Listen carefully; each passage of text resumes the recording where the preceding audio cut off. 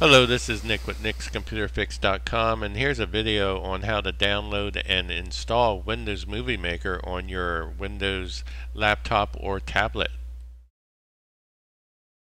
Okay, let's go ahead and get started by opening up an internet browser from your start screen or from your desktop in Windows 8.1 and in this case I'm going to open it up from the desktop so I popped over to the desktop there. And I'm going to go down here on the taskbar and just open up internet browser um, IE and I have my default uh, search engine Google.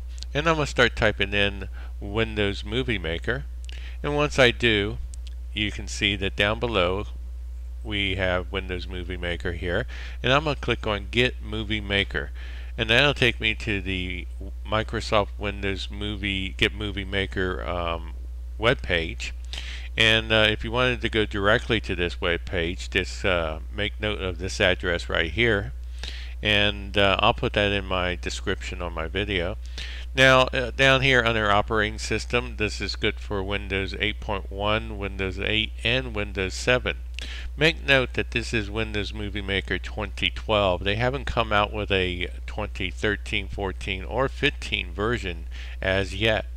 Once you um, decide to get this, go ahead and click on Get It Now. And that takes you to um, the point where on in Windows um, IE, I get this little prompt down here.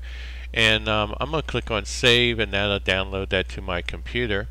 And then I'm going to once it says complete it I can go ahead and click on run.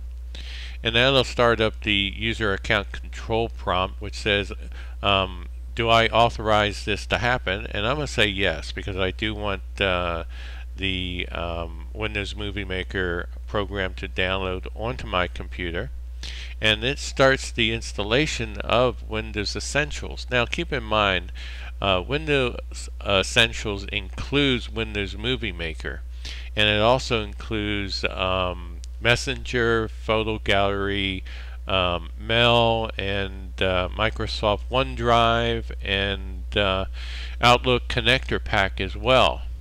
Now, if you don't want all of that, installed, you can choose the program you want to install, and I'm going to do that right there by clicking on that. Now, I'm going to uncheck all the programs that I do not want to install because it, in this um, video tutorial, I'm just going to install Windows Movie Maker. And that's the way you do it. So Windows Movie Maker is checked. And once it is checked, and the only one that is checked is Windows Movie Maker, I can go down here and I can click on install and that will begin the installation of Windows Movie Maker. Now as you can see it says installing Windows Essentials uh, 2012 but the only program I selected out of the package was Windows Movie Maker so that's the only program that's going to be installed um, during the install process here um, on my Windows uh, laptop. And keep in mind the speed and performance of your laptop computer determines how quickly um, the install will complete. Alright, mine is done and it tells me Windows Essentials is, uh, is finished being installed. So I'm going to go ahead and click on close. And I'm going to close out um, IE Internet Explorer. I use Internet Explorer because it's the default for Windows 8.1, but you can use Firefox or another um, um, explore it if you chose to.